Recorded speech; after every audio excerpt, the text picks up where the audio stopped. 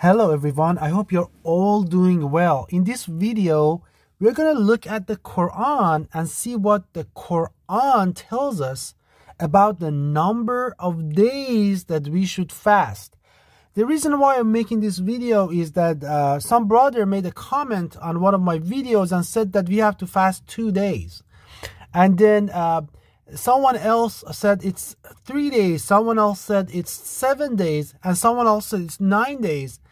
So someone else said it's 10 days. So I have heard these things uh, over the years. So I just want us to, uh, first of all, not just follow our, our, our, whims and wishes and desires. And if you want to do that, sure, go ahead and do that. But uh, that's not what my channel is about. This channel is about Allah, is about His commandments, is about His book, and it's about what he has written for us in his book. So without further ado, let's take a look. Verse, first verse we're going to look at is verse number 184 of chapter 2. Talks about fasting. It said it was written for you, koteba alaykum, written for you, um, just like uh, before. And then it says, tells us something very interesting. It says, ayyaman ma'adudat. So what does that mean? It means an enumerated number of ayyam, not day, not night, ayyam. Yam means day plus night. So a 24 hour period.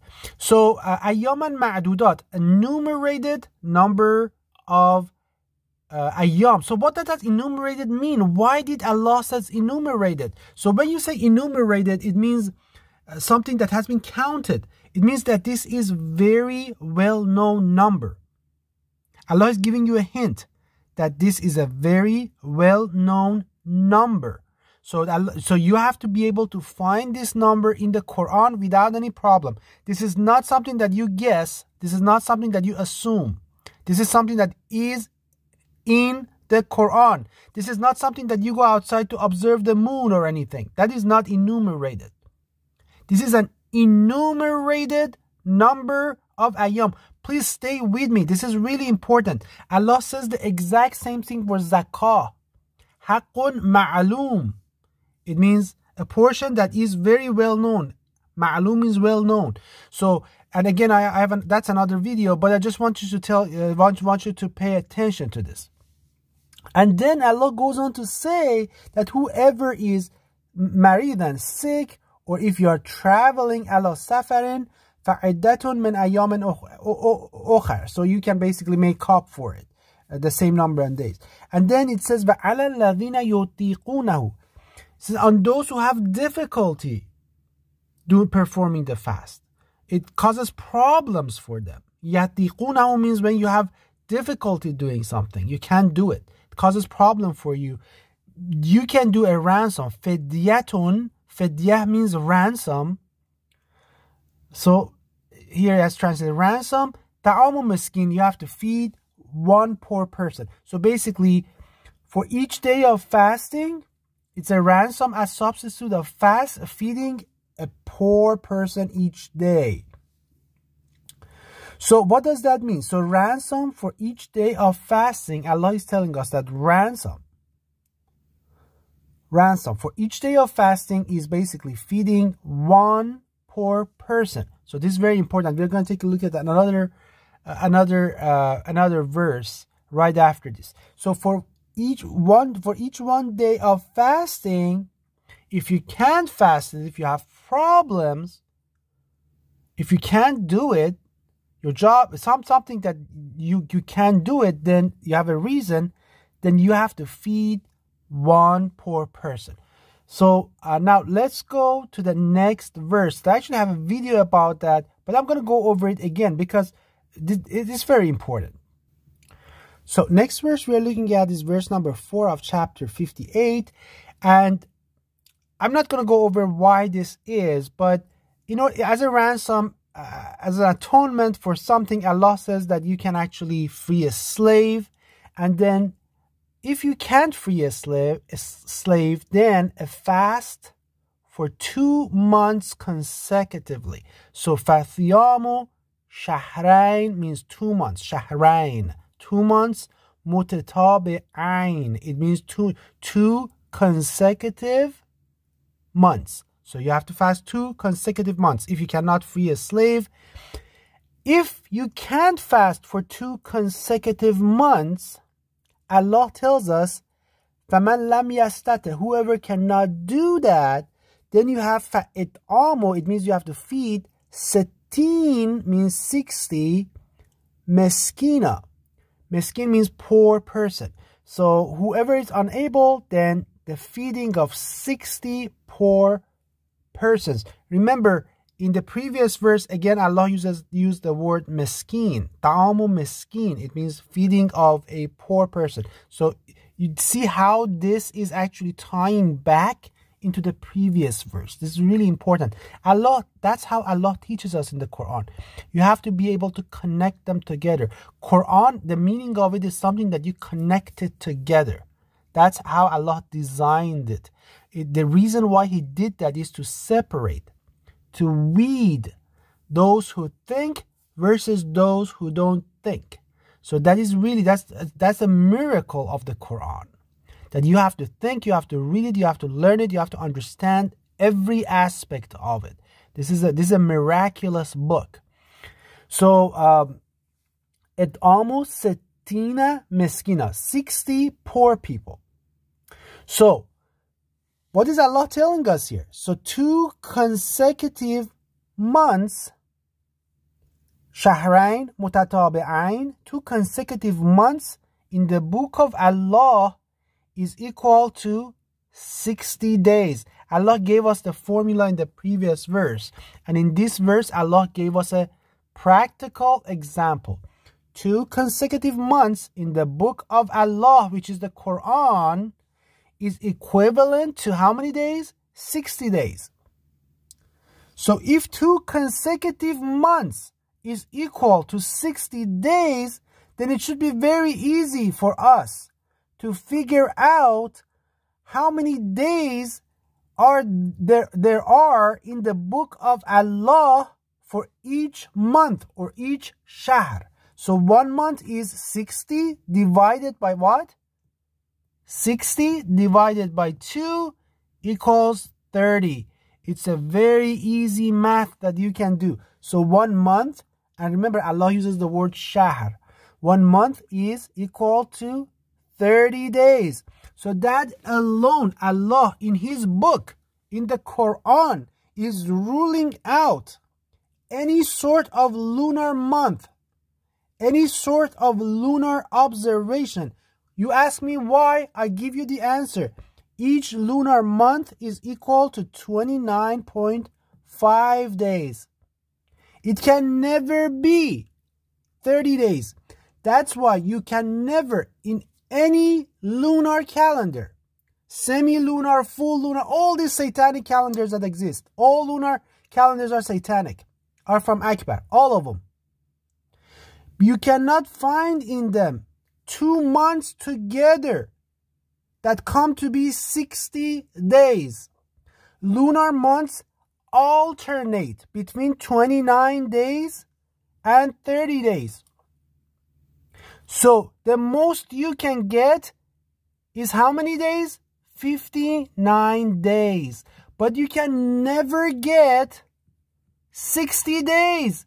You can never reconcile these two. It beats me. It surprises me that some of the Quranic brothers go and say it's a semi-lunar. Brother, read the Quran.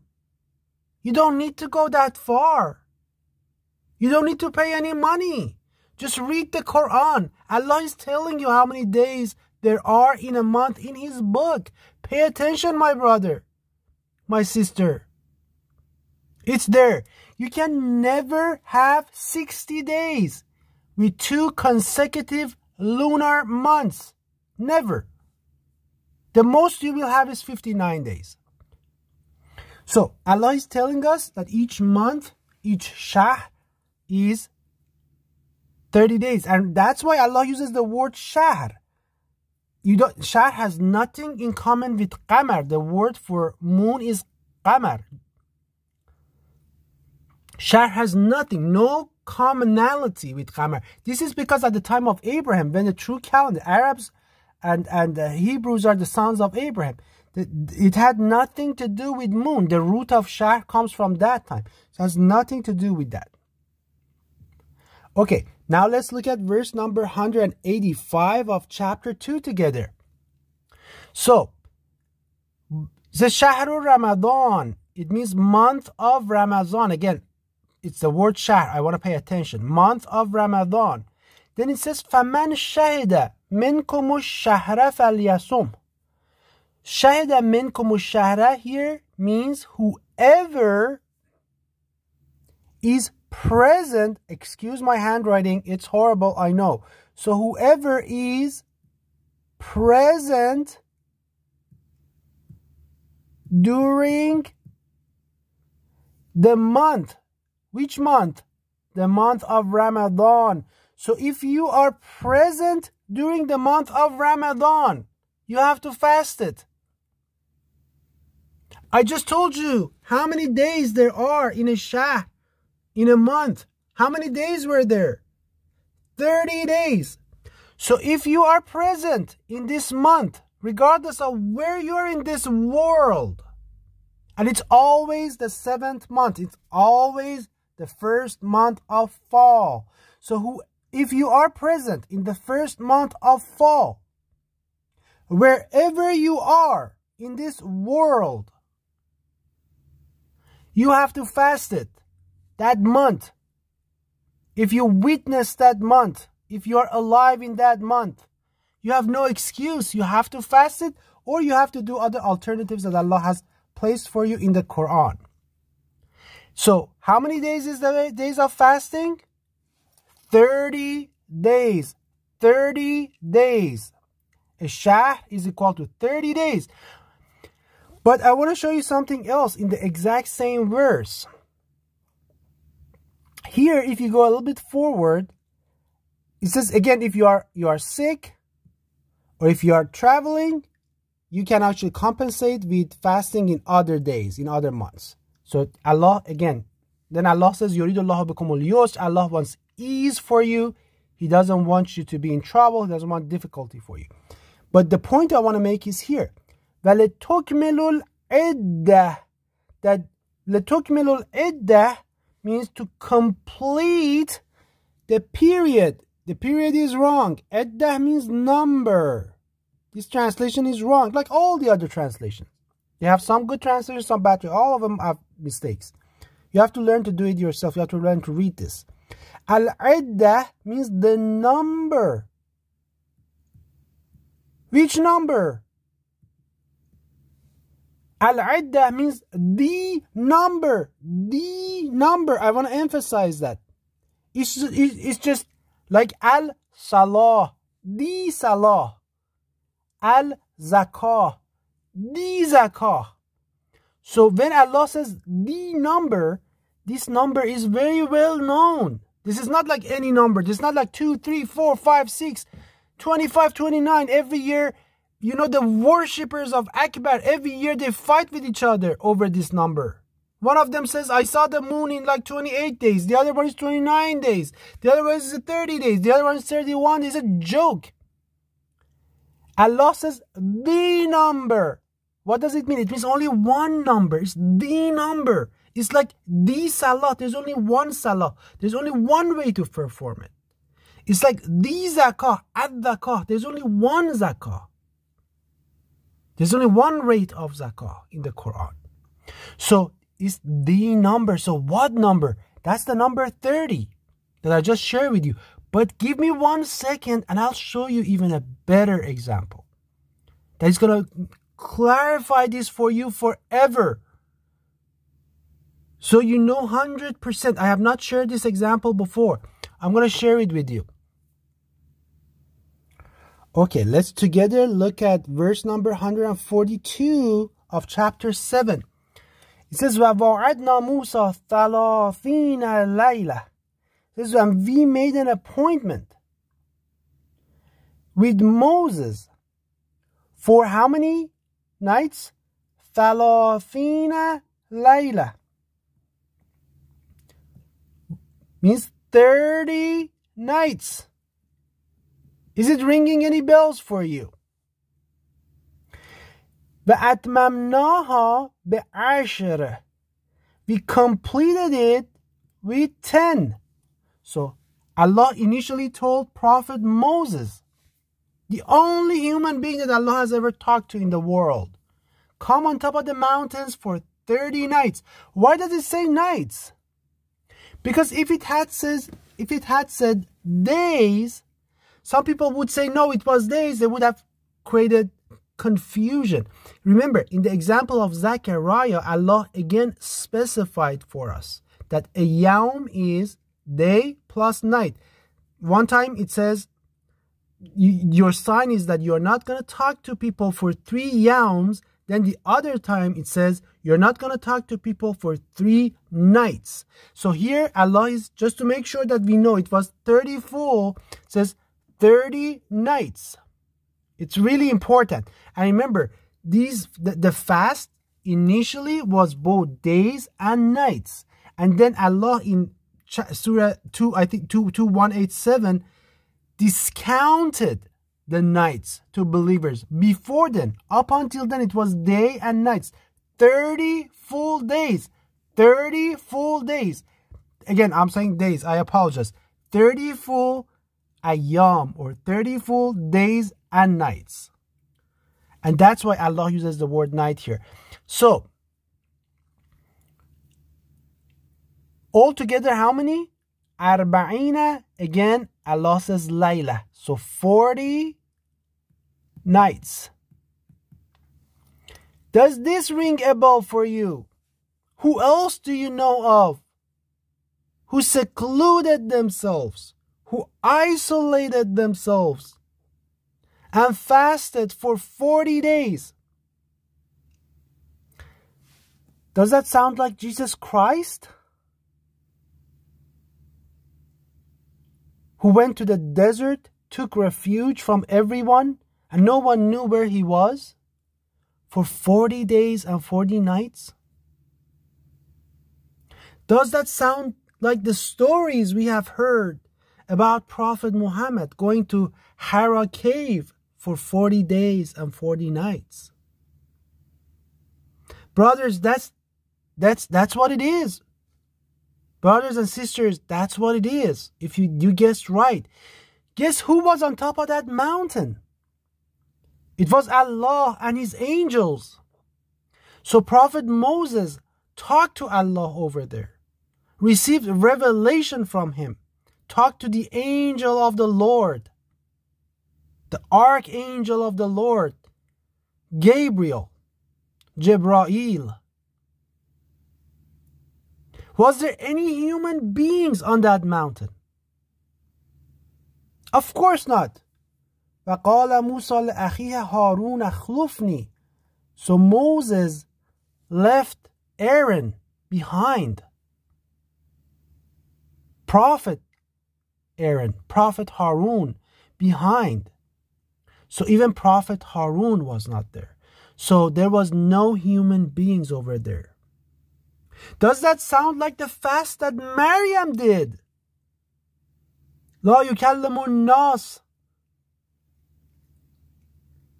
اليوم that this day you are not I'm fasting because I'm fasting I'm not going to be talking to any human beings.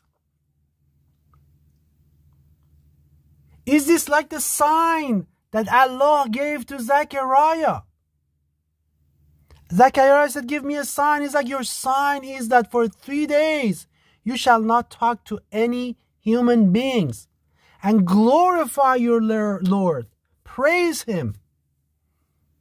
But no talking with any human beings. This is a blessed fast. It's a sign from Allah. This fast is a sign from Allah. Unlike, unlike the fast of not eating and drinking, which is a sign from Akbar, the bigger devil, to torture you, to make you weak, drowsy. Whereas the, the fast of Allah makes you sharp.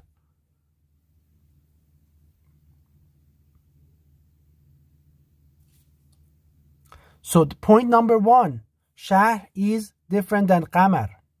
Has nothing to do with moon. One shahr is equal to 30 ayam. 30 ayam. What does 30 ayam means? Means 30 days. When it comes to fasting, there are different versions of yam for creation and things. I'm not talking about that. I'm talking about fasting when it's talking about ayam as relevant to fasting. 30 days and 30 nights, 30 nahars and 30 la, uh, 30 layls. Prophet Moses made an appointment with Allah one full shahr. One full shahr. It was initially 30 nights. So, I'm telling you, feel free to believe or not believe. That's fine. I'm telling you. That appointment that Allah made with Prophet Moses was during the month of Ramadan. Those 30 days was the month of Ramadan. Laylatul Qadr. That's the month of revelation. That's when that's when the angels together with Ar-Ruh, the archangel Gabriel, they are sent down. Blessed is that day. Hatta matla al fajr, up until the time of Fajr. And I'm telling you, 100% that disappointment. this was the month of Ramadan.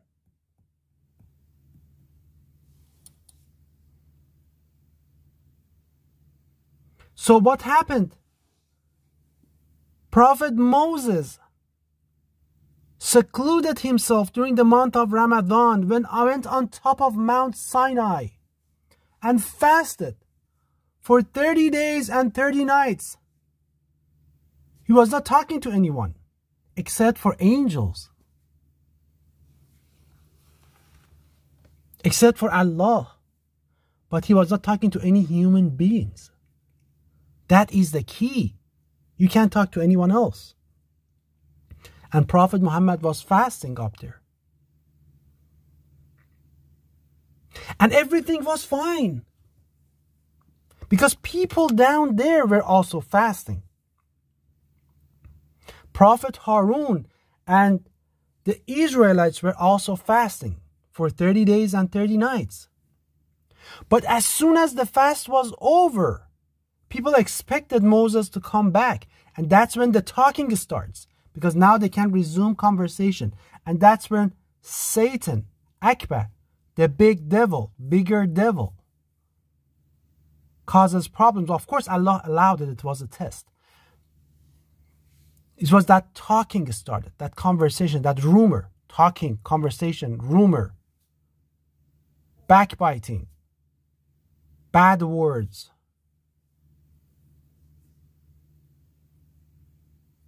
lying, swearing, these are all from talking. But when you fast, you are keeping yourself. From, from, from any of those traps. That's why for the first 30 days it was okay because everyone was fasting. Everyone was doing the fast. Everyone, nobody was talking. None of the Israelites were talking. But as soon as the 30 days was, was over, Moses stayed on top of the mountain for another 10 days. So that's the first 10 days of the next month of after Ramadan.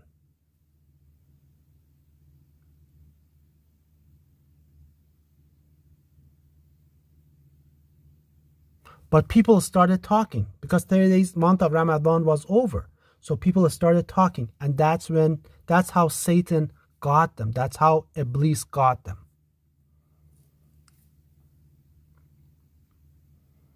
So one full shahr. It was definitely in Ramadan. It was definitely the first month of fall. So now we know when Prophet Moses went went on top of Mount Sinai. I have never made them, this video video before. It's the first time I'm telling you this. It was on the first on during Ramadan, first month of fall.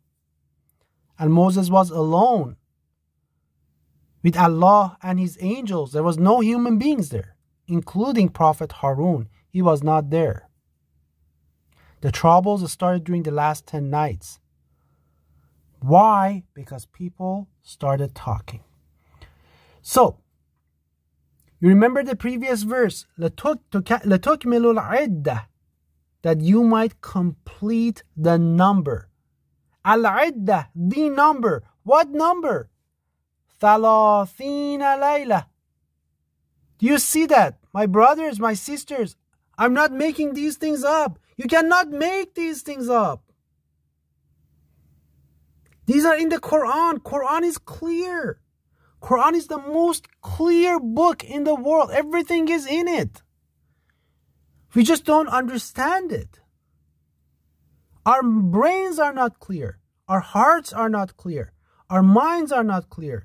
Our eyes are not clear. We cannot see.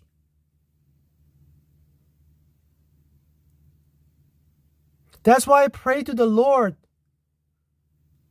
Say, open up my eyes so that I can see. So that I can see the wisdom of your word. So that I can see the secret of your words. And you should do the same as well.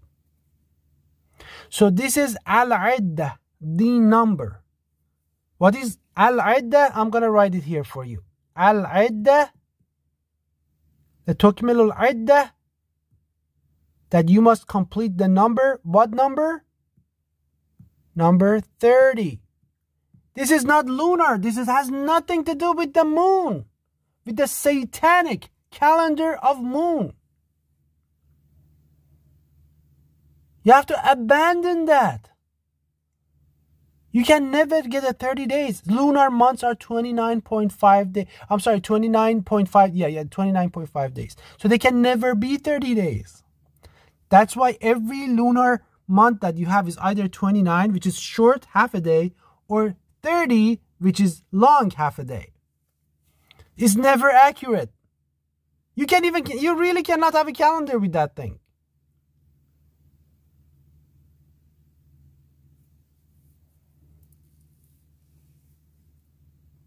So somebody might come and say, hey, how do you know Prof, Pro, Prophet Moses was up there, so he was not also eating and drinking? That's a good question.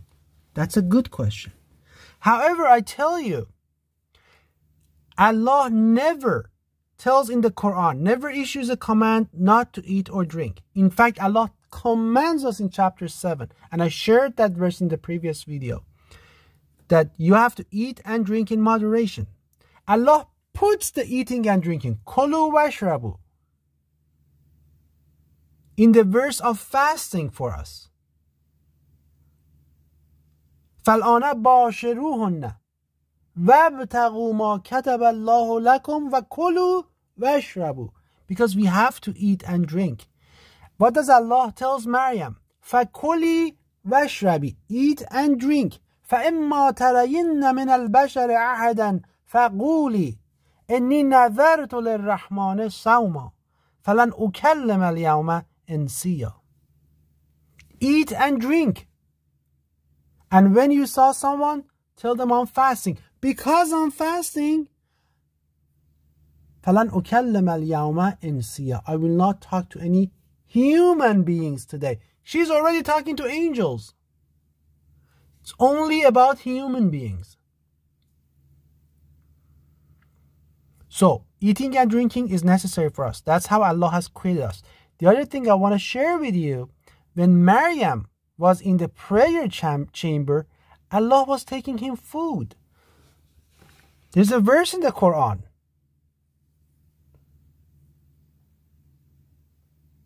It says, Every time Zechariah, كلما دخل عليها عليها ذكريا المحراب beautiful beautiful verses just amazing. Every time Zechariah entered upon her in the prayer chamber. So where is Maryam? In the prayer chamber. He's praying, he's meditating.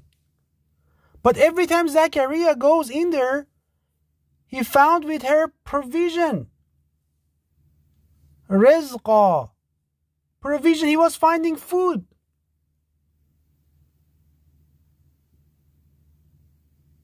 Why was not Maryam fasting while he, she was in prayer chamber? Why was she not eating and if, if fasting and is a good thing? If not eating and drinking, I'm by fasting, I'm like a wrong fast. I'm not talking about the actual fast. If not eating and drinking is a good thing, why don't you think? Why don't you people think? If not eating and drinking is not a, is a good thing, why was Maryam eating in prayer yeah, and drinking in prayer and prayer chamber? Why was Zechariah every time she, he was entering on Maryam, he would find food and drinks over there, rizqa, provisions, because you have to eat and drink in order to be able to meditate, in order to be able to understand, in order to be, in order to be able to learn. My brothers and sisters, if you doubt that, don't eat and go to school, go to university, go try to learn something. See how your brain works. You're not going to be able to learn anything. I have done it. I started doing the wrong fast of not eating and drinking when I was seven years old. Up until Allah taught me what a horrible thing it was. Up until Allah taught me what a satanic practice it is.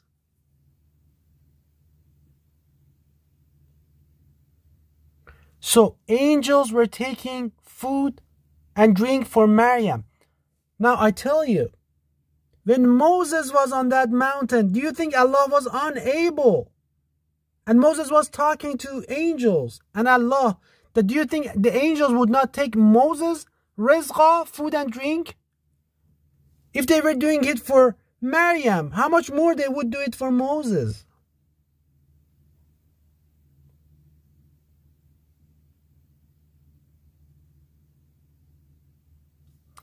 Okay. I hope really enjoyed this and uh, learned from this. Quran, blessed be the name of the Lord, Allah. Blessed be his holy name. I love him. You should love him. And if you truly love him, he will open your heart so you can learn.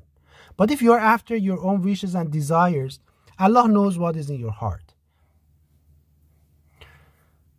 Follow the Quran. The number is there 30 days.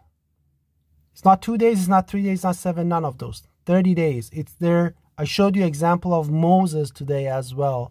So hopefully I have three examples. I have my challenge is there for, for the worshippers of Akbar, for the priests of Akbar who mislead Allah's servants. For the past 1300, they have been misleading Allah's servants. Their livelihood is to mislead Allah's servants. That's their livelihood. They make money off of misleading Allah's servants.